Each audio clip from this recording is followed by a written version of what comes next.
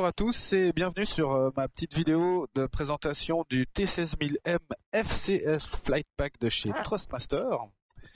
J'ai reçu ce pack euh, il y a une semaine et demie maintenant. Je remercie beaucoup Trustmaster de rendre ce test possible pour bah, principalement le simulateur DCS je me présente juste avant, donc je suis Mermine, je suis euh, lié gauche à la patrouille suisse virtuelle ainsi qu'à la virtuelle PC7 Team et avec mon ami Fougas, cofondateur de la Ferté-Allée virtuelle.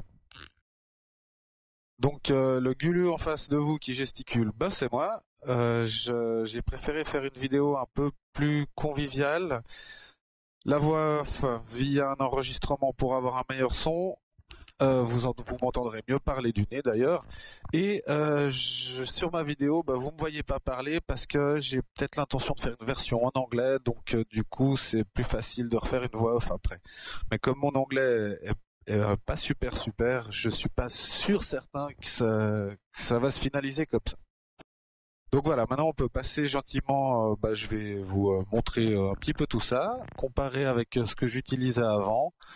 Et euh, ensuite, j'ai quatre vidéos de vol à vous montrer, euh, assez brèves, pour vous voyez un petit peu bah, la, sensibilité, qu'est-ce qu'on peut gérer et euh, un petit peu comment tout ça, ça tourne.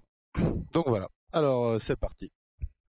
Alors on va commencer ce petit test par bah, analyser déjà le, joystick. Donc c'est le T16000, à savoir que bah, j'utilise aussi un T16000 déjà depuis 7-8 ans maintenant. La, première différence qui saute aux yeux, c'est que bah, l'ancien est vert et euh, le nouveau est orange. Ça s'allume hein, quand on bouge le joystick, vous verrez dans les vidéos après.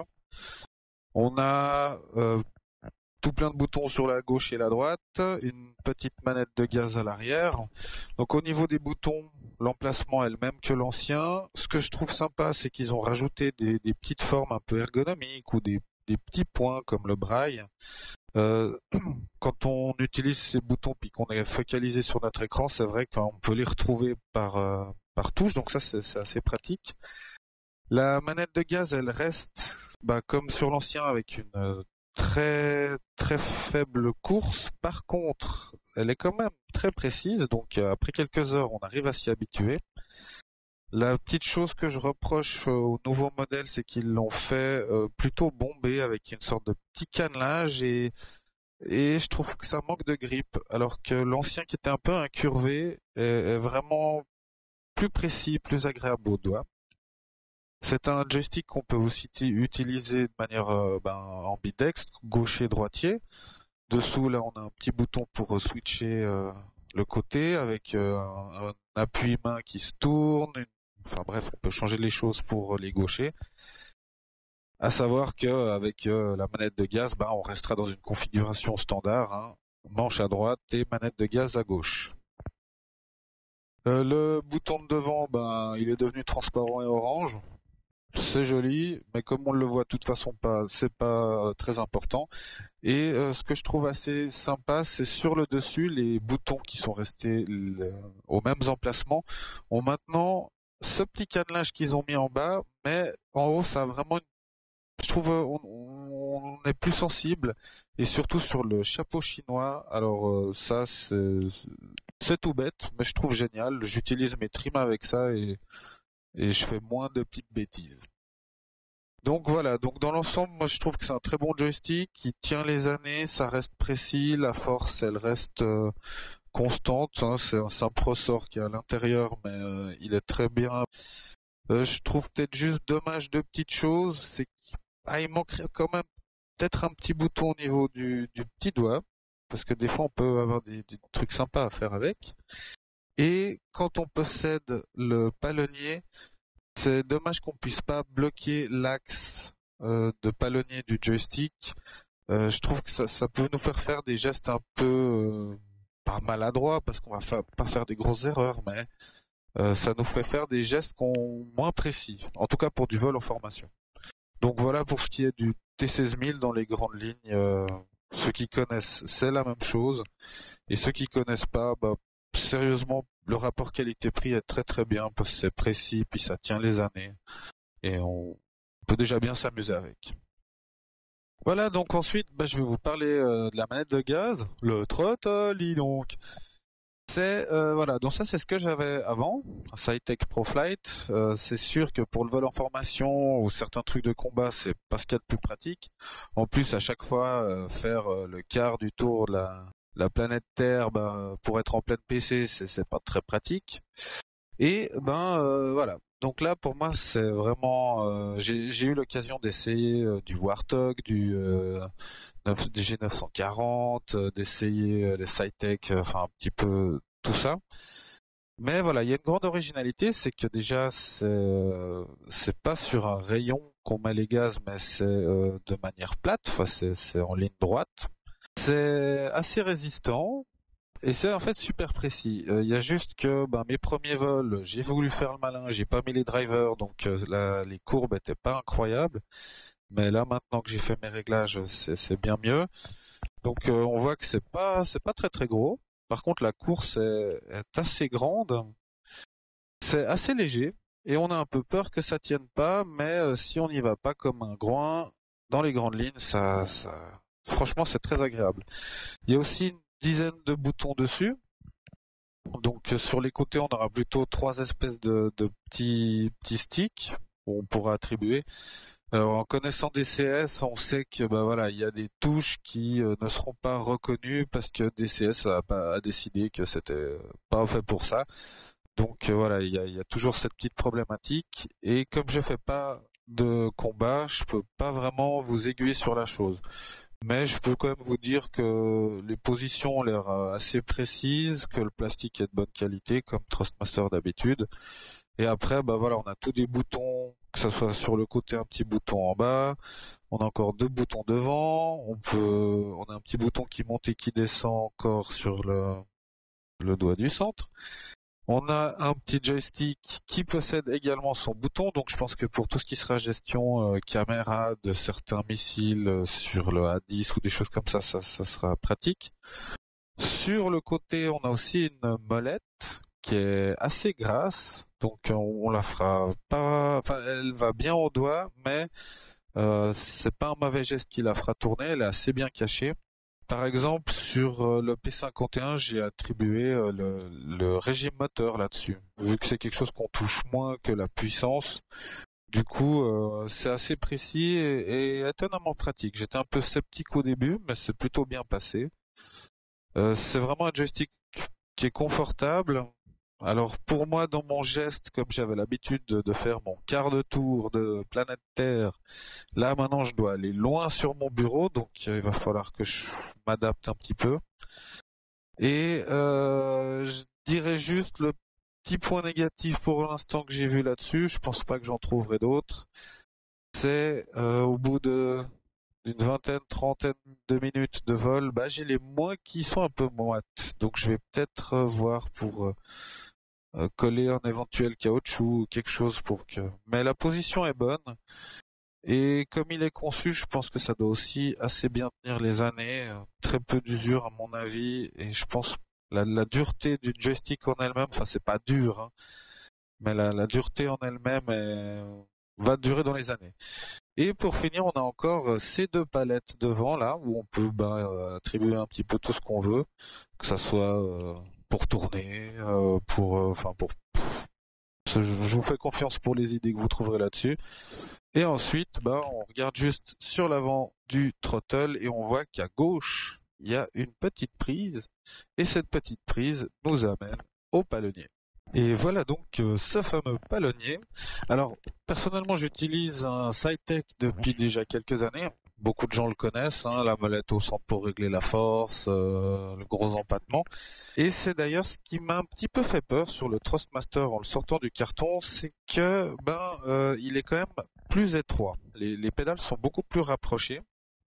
Et j'avais peur d'un petit inconfort. Euh, mais bon, la forme où on pose nos pieds étant, je trouve très agréable. Moi qui joue en chaussettes principalement.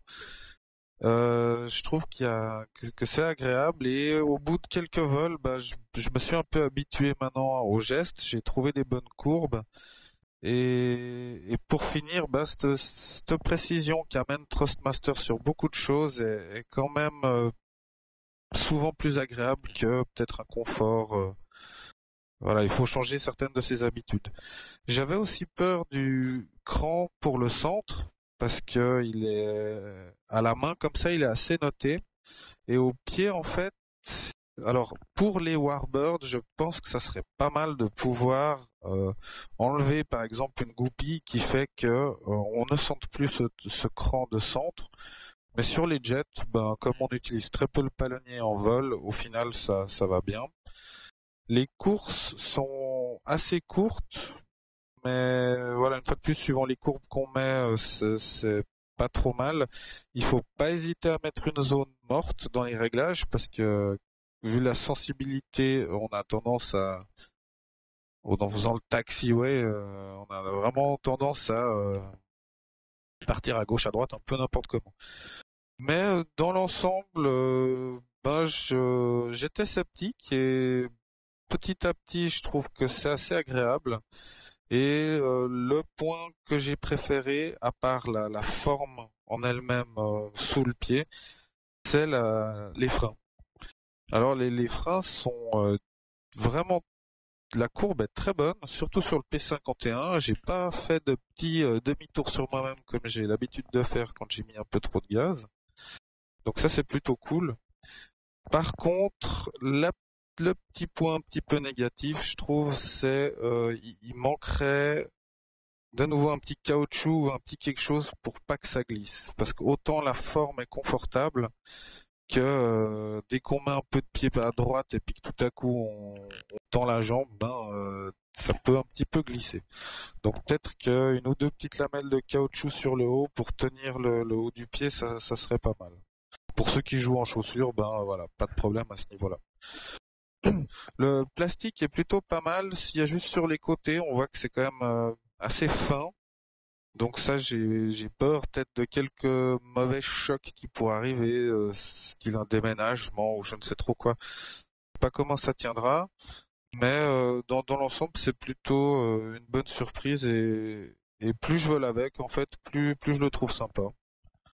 malheureusement, j'aurais qu'une seule séquence à vous montrer où je me filme en train de jouer en chaussettes parce que euh, tous mes autres essais j'avais pas un assez bon éclairage et euh, c'est pas très joli à voir.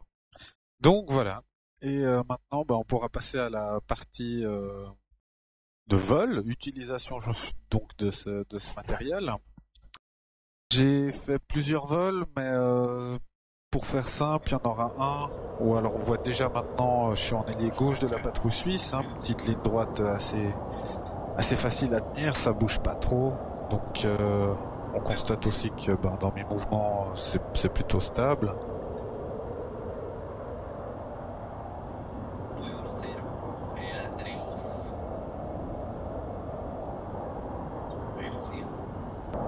Euh, notre petite séquence, donc euh, toujours au même emplacement. Cette séquence elle est tout petit peu particulière parce que c'est un petit clin d'œil pour le hunter qui retourne se cacher sous mon aile droite, voilà. Donc c'était assez bref. Euh, mais euh, peu de mouvement au niveau des gaz sur des parties droites, tout ça c'est assez facile à gérer, c'est stable. Et là j'ai mis par exemple une autre séquence où on fait une boucle alors comme sur ce vol-là, je n'avais pas mis mes drivers, effectivement, à la montée, c'est à peu près correct. Donc là, maintenant, on va se rapprocher du leader. Et euh, la partie descente où il faut relâcher les gaz, ben, là, je me suis un petit peu mangé parce que euh, je dirais qu'autant ces gaz sont très précis que il manque un petit point de pour savoir où on en est euh, dans notre geste le fait d'avoir ce geste linéaire, euh, au bout d'un moment, suivant comment on est concentré, on a un peu de mal à retrouver son emplacement. Et si on doit couper les gaz et remettre, c'est un petit peu bizarre. Alors que sur un, un, qui sera plutôt euh, sur un rayon, on retrouvera plus facilement l'emplacement en fonction de, la courbe qu'on est. Là, j'ai mis une petite séquence où on est en vol de front euh, je l'ai mise parce qu'on est plutôt bien et que bah voilà, y a, on a quand même le regard bien tourné sur la droite. Les gaz sont qu'il y a de plus important vraiment dans ce genre de, vol. Euh, donc euh, voilà, du moment où on a des, bons points de repère, c'est aussi plus facile à maintenir. J'ai laissé la séquence en entier parce que, euh, bah, une fois de plus, sur la fin, on a une descente sur le charognard et là, bah, j'ai lâché les gaz et j'ai remis un petit peu trop et ça, vous verrez, ça fout vraiment un coup de boost. Donc ça, c'est pas du tout le geste réel qu'il y a sur le, throttle. Avec les drivers, maintenant, j'ai euh, une meilleure courbe qui est bien plus agréable et réaliste. Voilà, là, on voit la descente et euh, bah, je veux m'arrêter puis en fait je remets un peu de gaz puis oh non de douce ça repart comme une bombe mais euh, ah voilà, c'était la petite partie vol en formation. J'ai aussi essayé donc le P51. Alors c'est un vol super simple. Sur celui-ci, j'avais euh, mis la caméra sur le palonnier, mais j'avais pas assez de lumière. Mais euh, malgré ma petite crainte du cran central, bah, c'est plutôt agréable et précis.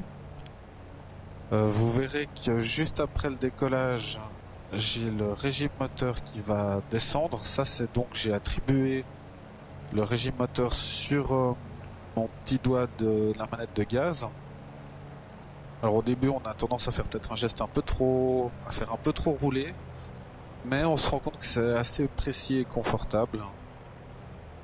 Donc euh, voilà, je vous laisse un, petit peu euh, ben, voir en, fonction des mouvements de l'appareil, les mouvements que je peux faire au joystick.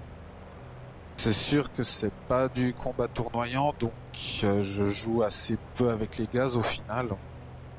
Ça reste du vol euh, plutôt stable. Et euh, bah, toujours, je, trouve personnellement vraiment le, le T16000 précis pour, pour cette catégorie de joystick et c'est on arrive vite à faire des choses onctueuses si j'ose dire. Ah, donc je vous laisse un petit peu observer euh, le soleil, euh, le petit passage au-dessus au de l'eau. Donc je fais simplement une sorte de 8 et je retourne euh, me poser.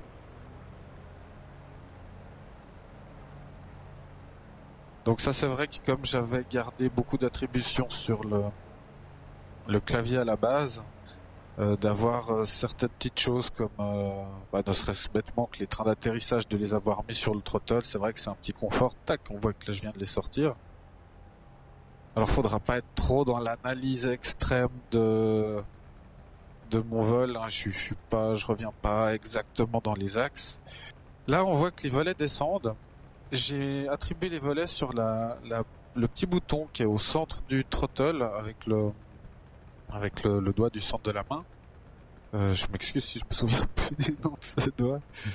Et, et c'est vrai que bon, bah, c'est voilà, c'est très pratique, c'est ergonomique. Euh, on a on a accès un petit peu à, à tout très facilement.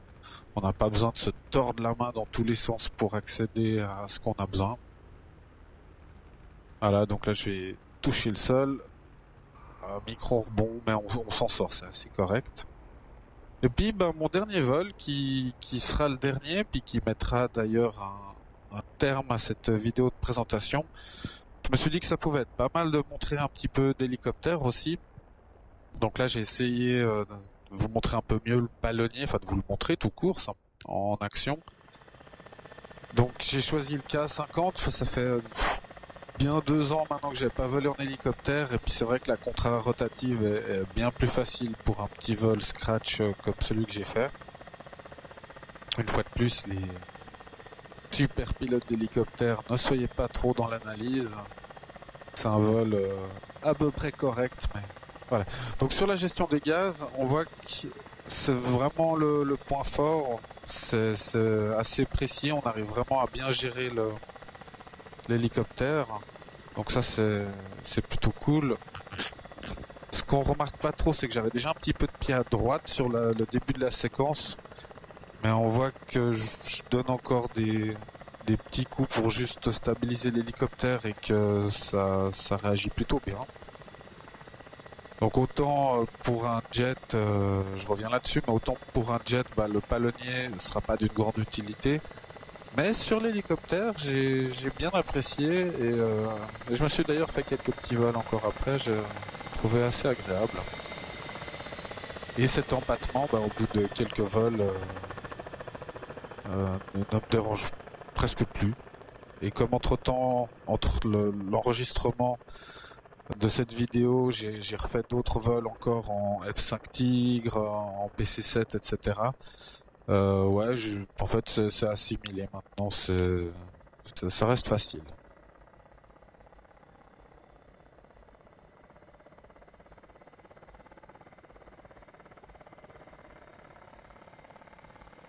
Donc une fois de plus, après, chacun a ses courbes perso, c'est toujours très important. Mais euh, on voit qu'il y a... Je pense qu'on doit voir quand même dans, mes gestes qu'il y a une forme de, confort et que c'est... Pas un... joystick qui posera des, mauvaises surprises. Euh. C'est facile à installer, facile à utiliser, qui m'amènera doucement vers mon atterrissage. Et je profiterai de, cet atterrissage où, j'ai peut-être dû un tout petit peu me tasser les reins, mais ça c'est enfin, cervical ont dû descendre d'un cran.